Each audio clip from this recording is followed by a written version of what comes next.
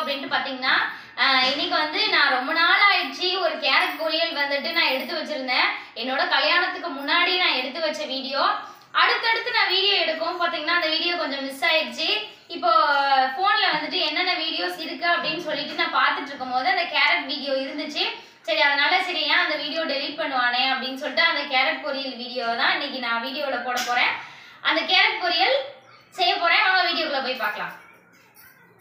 கால் kilo வந்து carrot எடுத்திருக்கேன். Carrot வந்து பார்த்தீங்கன்னா கொஞ்சம் கொஞ்சம் பொடிசா ரொம்ப பொடிசா இல்லாமல் கொஞ்சம் பொடிசா கட் பண்ணி எடுத்து வச்சுருக்கேன். அதுக்கப்புறம் ஒரு ஸ்பூன் அளவுக்கு தாளிப்புக்கு கடுகு ஒரு அரை மூடி வந்து தேங்காய் வந்து துருவி வச்சுருக்கேன். ஒரு ஸ்பூன் வந்து வெள்ளை எள்ளு எடுத்திருக்கேன். ஒரு ஸ்பூன் வந்து கடலைப்பருப்பு கொஞ்சமாக ஒரு ஸ்பூன் அளவுக்கு வறுக்காத கடலை எடுத்திருக்கேன். வறுத்த கடலையாக இருந்தாலும் சரி என்கிட்ட வறுக்காத கடலை இருக்கனால நான் பச்சை கடலை எடுத்து வறுத்துக்க போகிறேன் அதுக்கப்புறம் வந்து ஒரு ஸ்பூன் அளவுக்கு சீரகம் ஒரு ஸ்பூன் அளவுக்கு மஞ்சள் தூள் அதுக்கப்புறம் வந்து கருவேப்பிலை. இப்போ வாங்க இதை எப்படி செய்யறதுன்றதை பார்க்கலாம். தேவையான அளவு உப்பு எண்ணெய். ம். இப்போ வந்து ஃபஸ்ட்டு நம்ம ரெடி பண்ணிக்கலாம். அதுக்கு வந்து வெறும் சட்டி வச்சுருக்கேன். எண்ணெய் சேர்க்காம அதில் வந்து நம்ம எடுத்து வச்சுருக்க கடலையை சேர்த்துக்கலாம். ஃபஸ்ட்டு கடலையை சேர்த்து கொஞ்சம் கடலை நல்லா அந்த பச்சை வாசனை போகிற அளவுக்கு கொஞ்சம் நல்லா வறுத்துக்கலாம் கடலை வந்து பார்த்திங்கன்னா பச்சை கடலை வந்து நல்லா கலர் மாறிடுச்சு. இப்போ கலர் மாறினதுக்கப்புறம் நம்ம எடுத்து வச்சுருக்க கடலைப்பருப்பை சேர்த்துக்கலாம்.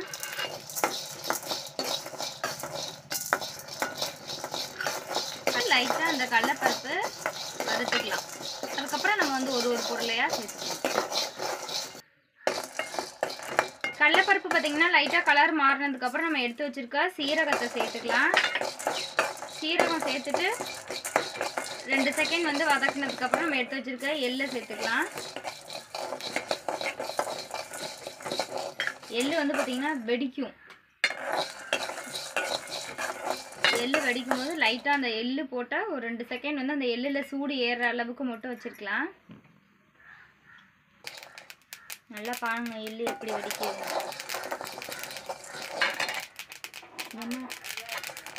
எள்ளு அப்புறம் இப்படி வெடிக்க விட்டா எல்லாம் காணா போயிடும் அதுக்குள்ளே நம்ம வந்து எடுத்து வச்சிருக்க தேங்காய் துருவலை சேர்த்துக்கலாம். சேர்த்துட்டு நல்லா வந்து பார்த்திங்கன்னா அந்த தேங்காயும் நல்லா கலர் மாற அளவுக்கு இந்த வறுத்து வச்சுருக்க மசாலாவோட நல்லா மிக்ஸ் பண்ணிகிட்ருக்கலாம் இருக்கலாம்.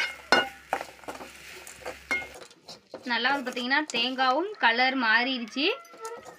நல்லா வாசனையாகவும் இருக்குது அந்த தேங்காய் வந்து எண்ணெய் எண்ணெய் ஊற்றாமல் வதக்குனதுக்கப்புறம் இப்போ நம்ம இதை கொட்டி ஆற வச்சுட்டு தண்ணி ஊற்றாமல் நம்ம வந்து மிக்ஸி ஜாரில் அரைச்சிக்கலாம். இப்போ அடுத்தது வந்து நம்ம கேரட்டை வந்து லைட்டாக வேக வச்சுக்கலாம். கேரட்டை சேர்த்ததுக்கப்புறம் கேரட் வேகிறதுக்கு சும்மா அரை டம்ளர் அளவுக்கு தண்ணி சேர்த்துட்டு நல்லா வேக வச்சுக்கலாம். மூடி போட்டு வேக வச்சுக்கலாம்.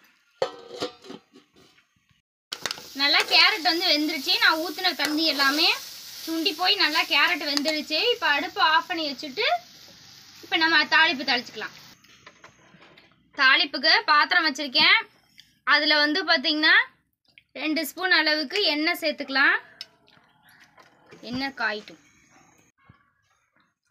எண்ணெய் காஞ்சதுக்கப்புறம் நம்ம எடுத்து வச்சிருக்க கடுகு சேர்த்துக்கலாம். கடுகு வந்து பார்த்திங்கன்னா நல்லா பொரிஞ்சிருச்சு. அதை எடுத்து வச்சிருக்க கருவேப்பிலையை சேர்த்துக்கலாம். கருவேப்பிலை சேர்த்ததுக்கப்புறம் எடுத்து வச்சிருக்க மஞ்சள் தூளையும் சேர்த்துட்டு நல்லா வந்து வதக்கிக்கலாம். இப்போ அது கூட வந்து நம்ம வேக வச்சு வச்சிருக்க கேரட்டை சேர்த்துக்கலாம். இப்போ வந்து இதில் வந்து தேவையான கேரட்டுக்கு தேவையான அளவு உப்பு சேர்த்து நல்லா வந்து நம்ம போட்ட இந்த கடுகு இதோட ஒரு ரெண்டு நிமிஷம் நல்லா அந்த எண்ணெயிலே வதக்கிக்கலாம்.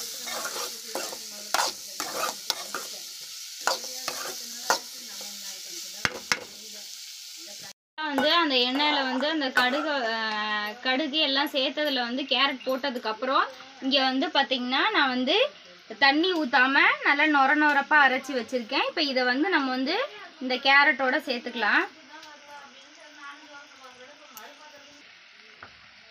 நல்லா வந்து போட்டதுக்கப்புறம் நல்லா அந்த கேரட்டோட மிக்ஸ் பண்ணி வச்சுக்கலாம்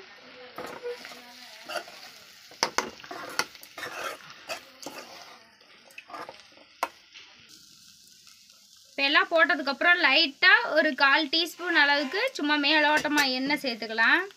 எண்ணெய் சேர்த்துட்டு நல்லா நல்லா இந்த மாதிரி வந்து கொஞ்சம் சூடு ஏறுற அளவுக்கு நான் கிண்டிட்டு கேரட்டை இறக்கிட வேண்டியதான் கேரட் பொரியல் ரெடி.